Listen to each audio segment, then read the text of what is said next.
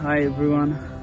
Um, my name is Safwan Sajid Sami. I'm engineering student here at Western Michigan University.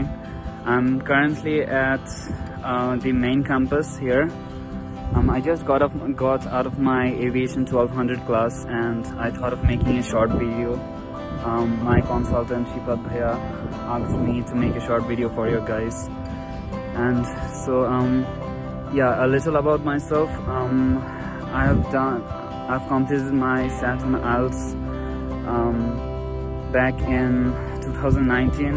Um, I couldn't travel to the US because of the COVID pandemic, and um, but I received a lot of help and support from PI, from Shifat Bhaiya, and um, here I am. It's January 20th, and today was my first class um, it was great um, the entire process um, I would say to all of you if you're planning to study abroad um, just uh, have faith in yourself um, have faith in God's plan and um, keep studying hard keep working hard and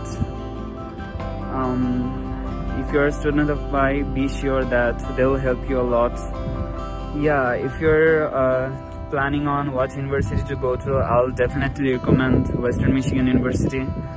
Um, it's a very fr friendly and very good university. Um, it's not an Ivy League, but it's one of the top 100 national research universities in the United States and its College of Engineering and Applied Science has been accredited by the Accreditation Board of Engineering and Technology which only 5% universities have in the US and um, I'm currently a student uh, of manufacturing engineering technology but um, I plan to shift to the College of Aviation. And so the College of Aviation is, of Western Michigan University is third in the entire United States. And so if you're planning to do uh, aviation um, I highly recommend coming here.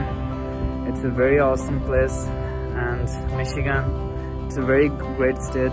It's very peaceful and calm here. And um, yeah, um, good luck with your studies and um, bye bye.